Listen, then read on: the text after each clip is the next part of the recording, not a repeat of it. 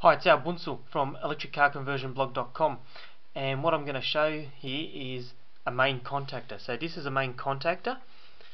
It's what what it looks like physically. And what it does is that it allows uh, it, allow, it allows a it's basically like a high current switch which goes which allows high current and high voltage to go from one terminal to the next terminal via is it via uh, this copper plate here which basically goes up like that which when it, and when it goes up like that it connects these two terminals.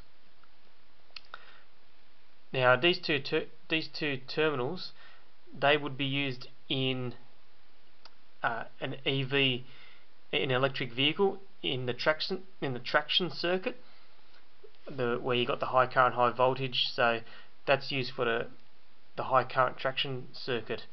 Now in order for this to go up what what's happened is uh, this is uh, activated by a solenoid and the solenoid pushes that up like pushes that like there and to activate the solenoid.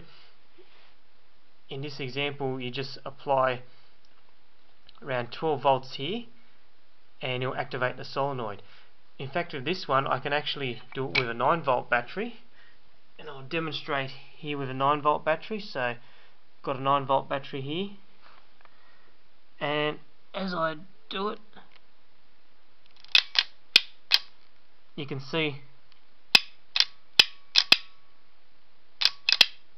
can see that piece of copper there go up make connection. Normally I should be using a 12 volt battery but in this case a 9 volt was sufficient.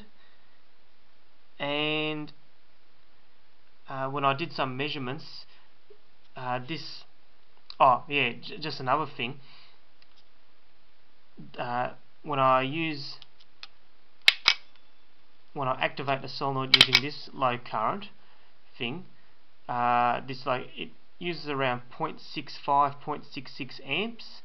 So that's uh, so so yeah so you basically use uh, in an electric vehicle application uh, you would you would have your key switch uh, which will probably have like a 12 volt which will be connected to your 12 volt uh, system.